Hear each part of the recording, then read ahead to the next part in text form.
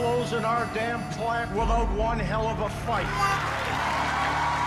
We're eight months into this, and nothing's been done. Sisters and brothers, stay! I think corporations need to be loyal to the communities that support them uh, because the community supports them. General Motors has always been greedy. What's a surprise is the way we were treated by our union. There was a hell of a lot more that they could have done for us. I don't know what replaces those jobs, and I really do not see it getting better for a long time. A just transition means environmental justice. It means social justice and economic justice.